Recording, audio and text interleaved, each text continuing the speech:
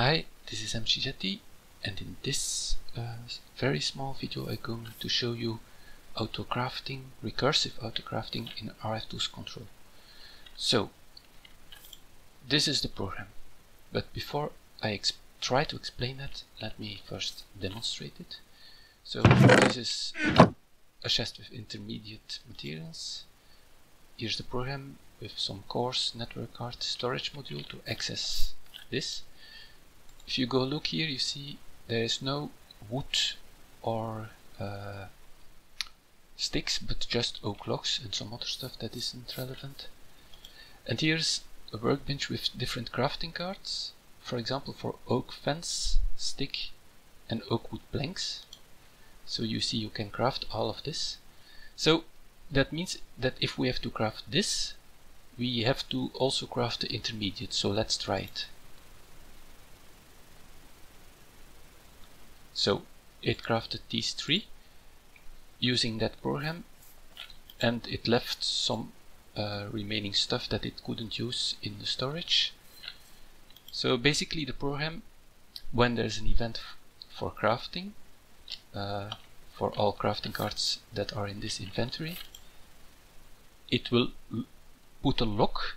This is because this program can be run multiple times, especially if there's recursive crafting, and we don't want the shared information because all programs use this these slots for the thing. We don't want it to be messed up by programs that are already running. So we test the lock and if the lock is available we can proceed. So we must make sure to clear the lock when when needed. Actually there's a bug here. This one for safety should after waiting enable the lock again like this. And then we get ingredients smart. This tries to get ingredients from the storage and uh, based on the current recipe from what we are what from what is requested. And it will try to put the ingredients in slots 0 to 8 of the processor. That's these slots because we allocated them to this card. And this only works if the ingredients are all available otherwise nothing happens.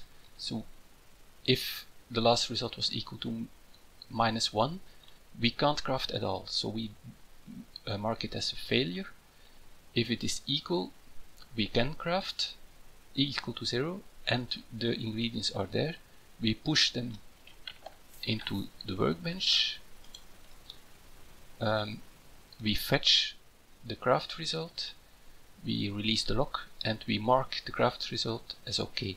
So depending if this was a straight request from the crafting station, then this will cause the end result to go back to that crafting station. But if the craft result was caused by this recursive craft, then it will go to the intermediate chest and this small program will uh, continuously run every 10 ticks to get uh, items out of this and put it back in storage.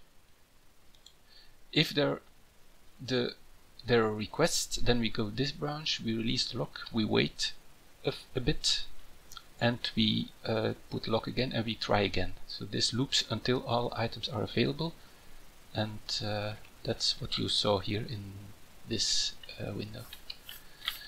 This might still change, not sure if I'm going to keep it like this, but that's how it currently works.